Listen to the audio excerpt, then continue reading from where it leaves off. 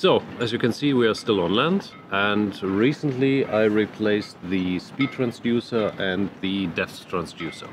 Naturally, I wanted to find out if they work uh, before I put the boat into the water, which is quite easy with the speed and temperature transducer here. You just move it like this, and you get a reading.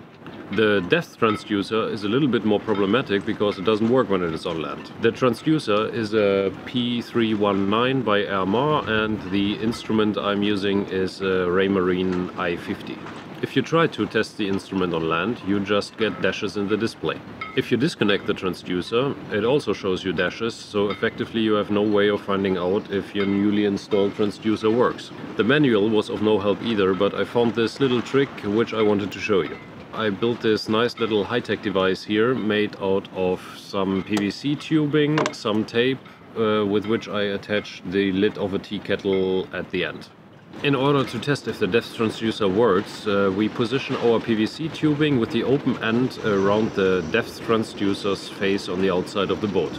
If you switch it on now, et voila, we get a depth reading on land. Obviously it's not a correct reading uh, because uh, sound waves travel differently in the air in the PVC tubing than in water. Nevertheless, at least we get some indication that the transducer returns a signal to the instrument.